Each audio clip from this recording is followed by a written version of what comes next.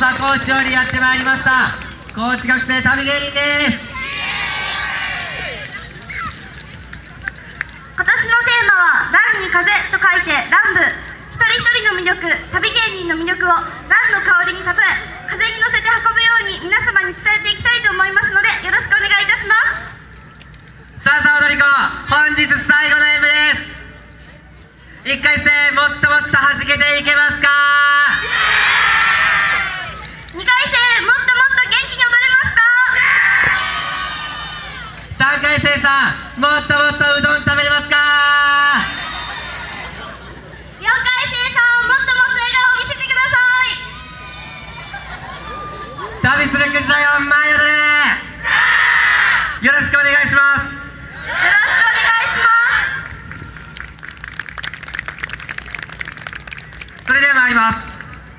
It's Kyurandar.